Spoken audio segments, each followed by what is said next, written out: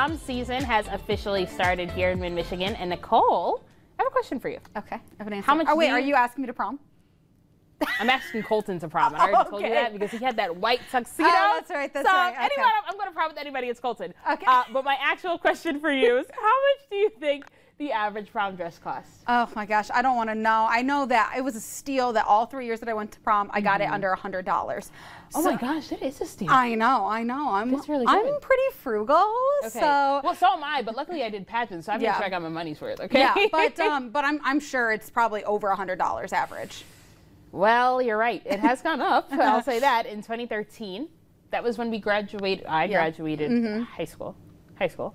Uh, the average prom dress was $150 and up, which is true. My purple prom dress was about 200. So was my black and gold one. But today, the average price has gone up to about 300 to Oh. 700 dollars, depending on where you live. And if you think about it, that's without alterations and hair costs and shoes and makeup and nails and all the other things that go into you know spending money. The limo, Oh yeah, everything to all make of it that that goes into the big night. Yeah, so uh, thankfully there are places that can help you or your loved one find that perfect dress, but without breaking the bank, but still Mm-hmm. making you feel extra special. So Claudia has outlined some options for us, so take a look.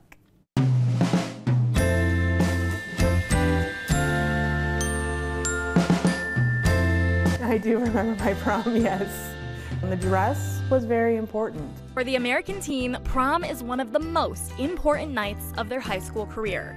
It's a time for making memories, and for seniors, it's a time for reflection. Because once prom is done, most teens will trade in their prom dress and tux for their cap and gown.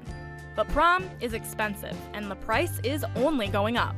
I feel like right now everything's expensive, so it's not really shocking anymore. So let's break down those costs for a female student attending Lansing High School today. A new or gently used prom dress itself can be anywhere from $150 to $700. So let's say that we find a dress right in the middle for $300. Shoes will cost anywhere from $50 to $100 on average, but we found shoes for $60.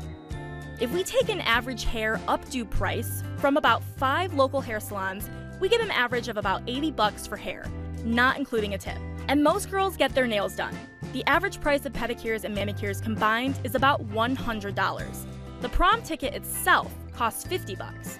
So when you add all of that up together, you get a total of just under $600. And remember, this doesn't include dinner, corsages, makeup, or tips.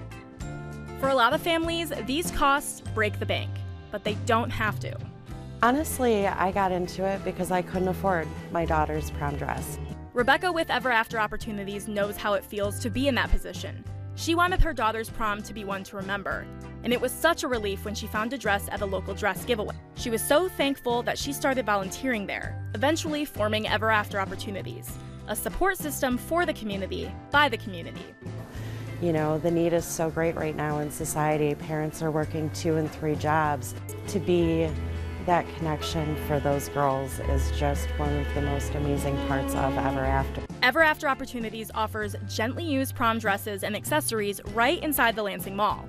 Girls can come in and look through beautiful selections of prom dresses, shoes, and accessories for no cost. They are open Tuesday and Thursday from 5:30 to 7 p.m. and on Saturdays from 10 a.m. to 3 p.m. No appointments are needed. For those looking to spend a little more, Fantastic Finds in East Lansing has great options as well. Another great place to look in your local area is thrift stores and Facebook Marketplace. Very pretty. Those, are Those some dresses are gorgeous. I like the last one that she was wearing, that uh, navy blue one that had the diagonal. Yeah, like the Uh, what do you want to call it? Beading. Yes. That wrapped around the entire dress on the way down. That was a light blue, so you kind of see that two-tone blue color. I love that. I love it. It's just so cool that this happens right here in our This is happening community. right here, I know. And if you'd like to donate, Ever After is always taking donations as well, and you can find out how to do that at WILX.com.